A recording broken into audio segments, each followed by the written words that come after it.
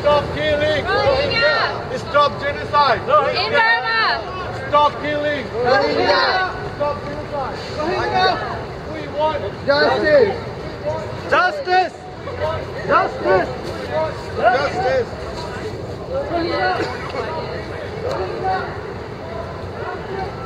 We want peace! We want justice! We want peace! Rohingya! Stop killing! Rohingya! Stop killing! Rohingya! Stop killing! Rohingya!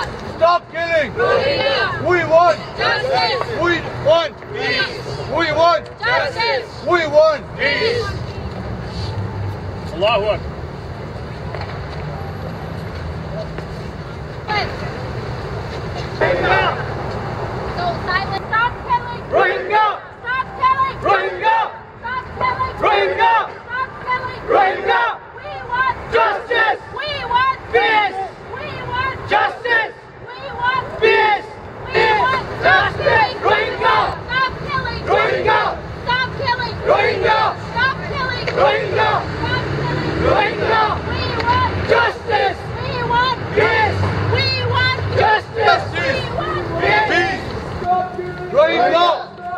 Rohingya! Stop killing! Rohingya! Stop killing! Rohingya! Stop killing! Rohingya! Stop killing! Rohingya! Silence! Silence! Silence! Violence! Silence! Violence!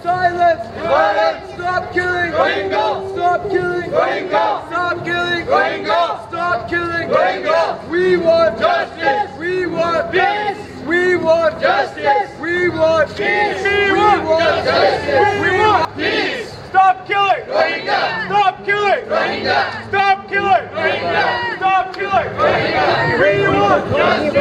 That silence is, is violence, and it's true.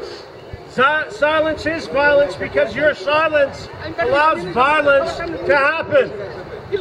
The persecution facing the Rohingya people in Myanmar, it's, it's crazy. You can't even believe it. And most of you have no idea what it is, but please look into it. The Rohingya people in Myanmar are facing genocide. They're being killed left, right, and center. They're being driven from their villages and from their homes.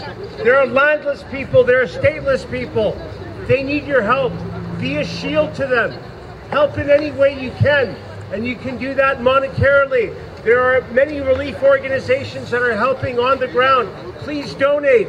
If you can call your MPs, your MLAs, anyone that you can to go and build a diplomatic solution to this issue. The United Nations needs to establish a peacekeeping force in Myanmar. So it's so important. My, my dear respected brothers and sisters, I know you're enjoying your day. Vancouver's a beautiful city. But what good are your freedoms? What good are your freedoms if you let people go without them? Think about it. Think about it for a minute. Give them some help. Be a shield to the Rohingya people. God bless you. God bless us all. Thank you. Thank you.